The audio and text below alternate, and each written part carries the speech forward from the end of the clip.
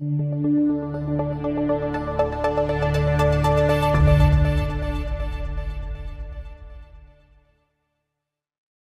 this lesson you will learn how to easily open a chart and understand the various elements of the display.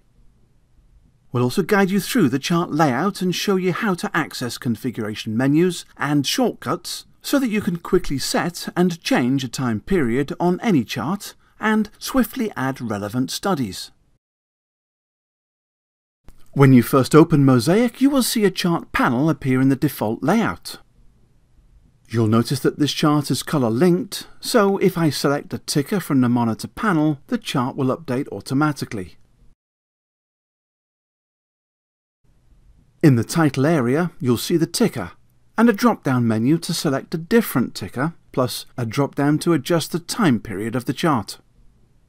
Let's select a new time period and see it display. Price is shown on the y-axis and time is shown on the x-axis. This chart panel is completely customizable and this lesson will show you how to enable or disable chart features. OK, to begin, how do you bring up a chart in Mosaic? There are at least four simple ways to access a chart from TWS Mosaic. First is the Mosaic chart window.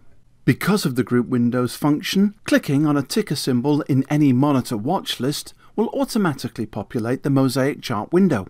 Remember, this chart window is integrated into your Mosaic workspace. While you can enlarge the display by clicking on the expand icon, it can't permanently be positioned on a secondary screen. Second is the floating icon. Right-click on a ticker to reveal a floating icon. You may choose the chart icon here to boot up a standalone chart window. This chart can now be repositioned on a secondary screen or left as a standalone chart to refer to in the background. Third is from the chart menu. Again, clicking right on the ticker symbol will reveal a menu from which you may select charts, then New Chart from the next pop-up box. Again, this is a separate display, which may be positioned on a different monitor. Finally, from the New Window button, highlight a ticker on screen and use the New Window button in the upper left corner, and under the General Tools category, select Chart, then Chart again. Let's start by selecting a ticker and choosing New Chart. Once you open a chart, you should see the chart parameters panel, which later can be bypassed by using the checkbox at the lower left. If you have already bypassed this panel, you can always return to it via the Edit drop-down menu and by selecting Chart Parameters.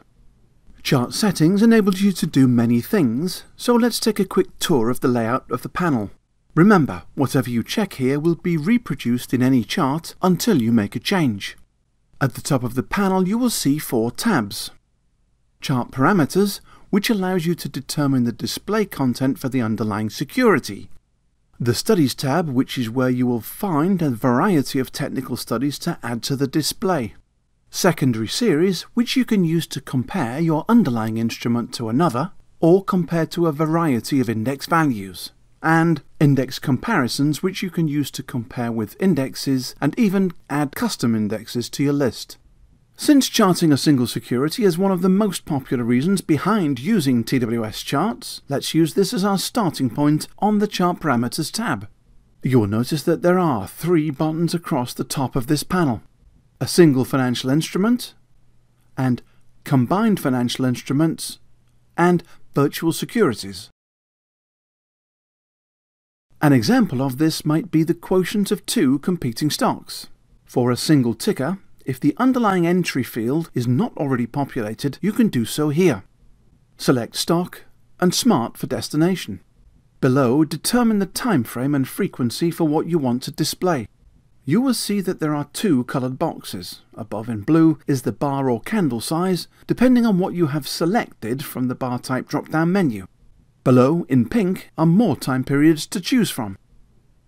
I'm going to select a two-month candle chart and click Apply to view the resulting chart. Note that by clicking Apply rather than OK, I can maintain the Chart Settings menu and make additional choices with the box open. If you lose the box and want to reopen it, it is under the Edit menu and Chart Parameters. For example, if you want to know what the midpoint would look like in your display, select it from the Additional Data and Features section and click Apply. Just deselect if you want to remove it and click the Apply button. You can test several choices to see how they appear and whether you want to retain them in the display. You may notice several boxes are greyed out when the selection does not apply. For example, some options-related data could only be shown on the display when selecting the option price data. You may display option volume, broken out into call and put values by underlying, and you can also display historic volatility for a security and the associated implied volatility derived from its options on the same display. Note that there are two references to volume for your display. Selecting volume will include volume bars below the chart from intraday to the maximum history TWS will allow. However, the selection for volume histogram is only available for intraday timeframes and will display as a stack to the right of the chart. The maximum period supporting the volume histogram is 8 hours. Remember, if you make any selections here, TWS will remember your choice for future charts. We will discuss the quote zone and bar detail zone in a later video when learning how to configure your charts but note for now, here are the selections on this panel. Also notice that there is a selection for Chart Trader. This can be enabled in order to make trades directly from charts. Let's turn them on so you can see them display in the chart. Another useful feature is the logarithmic scale selection. This will be of most use when examining charts displayed over longer time periods or with a larger price range. Let's adjust the time period to one year and click Apply. Log charts try to common size the price scale to keep price movements comparable. You may add VWAP to price bars from the Additional Data section, and from the Highlight on Chart selections, you may highlight your own trades within a bar as dashes or triangles to help more easily identify your entry and exit points over time. Now see the triangle appear. Back on chart parameters in the line below, users can determine what values may be highlighted on the y-axis, such as bid-ask, high-low or last prices, or the value associated with the position of the cursor. Let's highlight high-low and click Apply. See the highlighted colours display over here on the y-axis. At the bottom of the chart settings display page are chart time options. You will probably want to keep your charts up to date, but also show data outside of regular trading hours. Note that this is very useful when watching stock index futures that have multiple overnight or intraday sessions. While there is a lot more to configuring TWS charts, you should now have a better understanding of the various ways you can open a chart, as well as how to locate and drive display choices from the Chart Settings menu. Now that we have covered basic chart configuration, let's turn our attention to the next lesson on charts in Traders Academy.